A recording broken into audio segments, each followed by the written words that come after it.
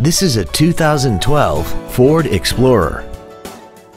This SUV has an automatic transmission and a 3.5-liter V6. Its top features include traction control and stability control systems, 100% commercial-free Sirius satellite radio, big 18-inch wheels, roof rails, and a tire pressure monitoring system.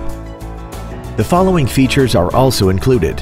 Air conditioning, a folding rear seat, cruise control, a six-speaker audio system, leather and alloy steering wheel trim, a rear spoiler, a security system, dusk sensing headlights, heated side view mirrors, and this vehicle has less than 27,000 miles.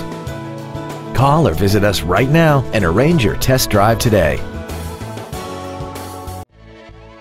Bobby Ford is dedicated to doing everything possible to ensure that the experience you have selecting your next vehicle is as pleasant as possible. We are located at 1200 North Highway 288B in Richwood.